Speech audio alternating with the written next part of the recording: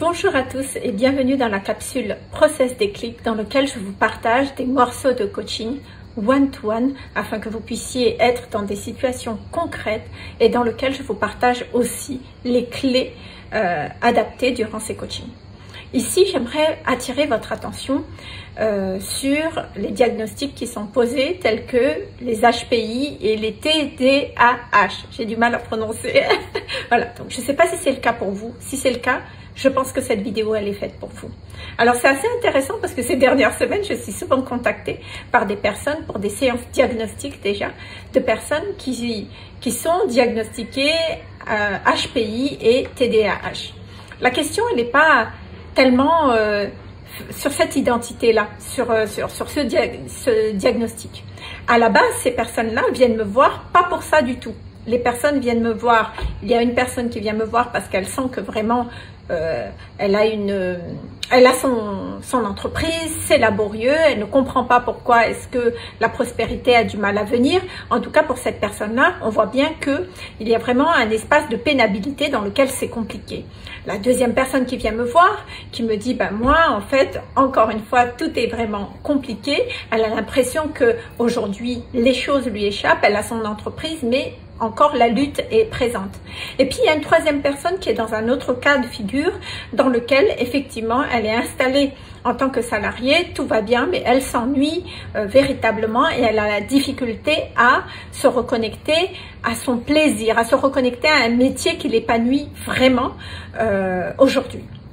La question qui se pose, je vais un peu rectifier, la question qui se pose quand elle vient me voir, c'est juste de dire, ok, quand on vient pour une séance diagnostique, la première chose, c'est une vraie séance en fait. Hein. Mais séances diagnostiques, c'est pas juste, même si elles sont offertes, c'est pas juste on vient pour une séance euh, situation actuelle, quel est votre objectif, blabla, bla, voilà ce que je vous propose. Non, pas du tout. C'est une vraie séance que vous avez avec moi parce que je vais aller plonger dans votre structure inconsciente pour aller voir quel est le mécanisme bloquant qui ne vous permet pas aujourd'hui de vivre, de mettre en place ce que vous désirez vraiment. Et en fait, c'est intéressant parce que dans ces diagnostics-là, ces trois personnes sont enfermées dans cette identité de HPI et TDAH.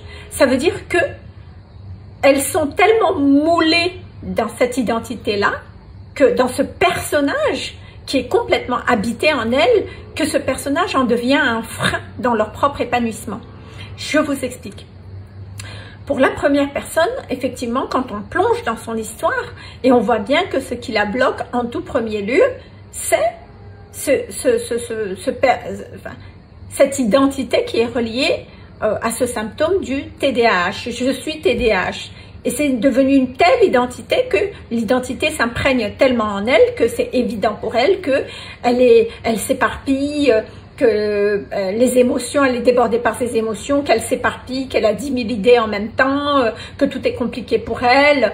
Et donc, en réalité, cette identité a induit une réalité, un paradigme où tout est compliqué pour elle. C'est comme si cette identité du TDAH à valider le fait que ok c'est pas grave si tu n'y arrives pas parce que effectivement tout devient compliqué pour elle. C'est presque une façon de la protéger de ne pas y arriver. Est-ce que vous voyez est-ce que ça résonne pour vous si vous êtes dans ce cas?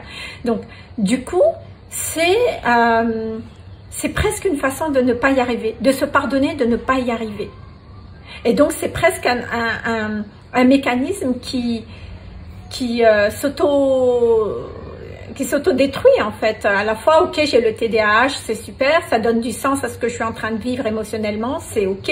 Mais en contrepartie de cela, il y a quelque chose en soi qui dit ok, c'est pas grave, je comprends, je suis spécial. Mais en contrepartie, le mécanisme inconscient qui sous-tend cette identité, c'est qu'aujourd'hui, pour cette personne, tout devient compliqué. Puisque c'est relié à la manière dont elle a, a allié à cette identité-là. D'accord? Donc, ça, c'est une chose. Par exemple, la deuxième, une autre personne que j'ai accompagnée, pour elle, justement, elle me, dépose, elle me dit, voilà, j'ai une entreprise, pareil, ça fonctionne pas, je comprends pas, j'aime ce que je fais, je sais que ce que je propose fait du bien aux gens. Mais voilà, ça, ne fonctionne pas. Effectivement, je suis quelqu'un de spécial parce que euh, je suis diagnostiquée HPI, donc émotionnellement, pour moi, je vis des émotions hors du commun, c'est-à-dire d'une petite situation, les émotions, j'en suis vraiment débordée. Donc, euh, ok, Si ce diagnostic a été posé pour donner du sens à ses émotions et que ça s'arrête là, à la gestion émotionnelle et la manière dont elle vit les choses, c'est une chose. Là où ça va porter préjudice pour elle, c'est qu'effectivement, elle va mouler un personnage avec des mécanismes inconscients reliés à ce diagnostic de HPI qui fait que pour elle particulièrement, qu'est-ce qu'elle a développé comme mécanisme inconscient? Elle a développé que elle n'a pas de pouvoir sur sa vie, puisque ses émotions elles-mêmes débordent, débordent et, et, comment dire, débordent, débordent. Elle est débordée par ses émotions à chaque fois, donc elle a le sentiment de subir ses émotions, donc elle a le sentiment de subir sa vie, de ne plus avoir le pouvoir sur sa vie. Donc chaque fois qu'elle veut entamer quelque chose, tout lui échappe très rapidement. Il suffit, il y a forcément quelque chose qui fait que tout lui échappe, puisque elle est branchée, elle est branchée, son identité est branchée sur le fait que elle n'a pas le pouvoir sur sa vie.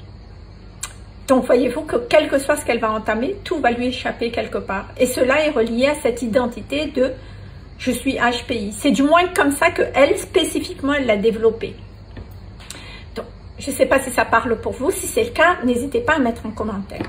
La troisième personne, l'autre personne que j'ai diagnostiquée, c'est aussi très intéressant parce que elle vient me voir pour une séance diagnostique justement et il en ressort de cette séance qu'elle me dit, moi Armel, voilà, la situation actuelle, c'est que ça fait trois fois qu'elle change de travail et qu'elle s'ennuie. Malgré les changements où elle valide que ça va être un, métier dans lequel elle va s'épanouir, il se trouve qu'il va se passer quelque chose qui fait qu'à un moment donné, elle va s'ennuyer vraiment. Et euh, elle me dit, moi aujourd'hui, j'ai envie d'avoir un, métier qui m'épanouit un métier dans lequel j'ai du plaisir. elle me dit, j'ai déjà entrepris pas mal de thérapies, j'ai fait, j'ai déterminé mon ikigai, euh, j'ai fait des, séances, des programmes pour être dans ma mission de vie, déterminer ma mission de vie, être au cœur de ma singularité, mon unicité. Malgré tout, elle est toujours au même point. Elle ne sait toujours pas quel est le métier qui l'épanouit vraiment.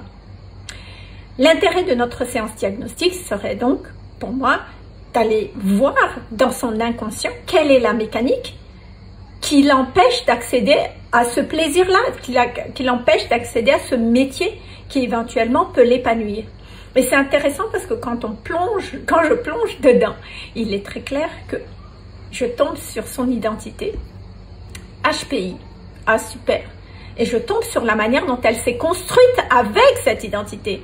Et le mécanisme, le mécanisme qu'elle a mis en place, c'est qu'elle est formatée aujourd'hui pour faire les métiers les plus difficiles, les concours les plus difficiles pour être exceptionnelle. Donc, c'est la raison pour laquelle elle a fait des hautes études. Et donc, quelque part, en fait, ce qui est en ressorti, c'est que de par le fait qu'elle est rentrée dans le moule de, de, de, de cette identité d'HPI, elle a aussi enveloppé et emprunter ce, mécanisme de elle est là pour performer. Elle n'est pas là pour le plaisir, elle est là pour performer. Mais ce qui va être intéressant aussi durant euh, cette séance diagnostique, c'est que cette mécanique-là va être renforcée avec le fait que cette mécanique de euh, je suis faite pour performer, pour, pour, pour donner, voilà, c'est ça, pour performer, pour être exceptionnelle, va être renforcée par le fait que effectivement, être une performeuse, c'est une façon de réparer l'histoire de sa mère. Et c'est là où ça va se fixer.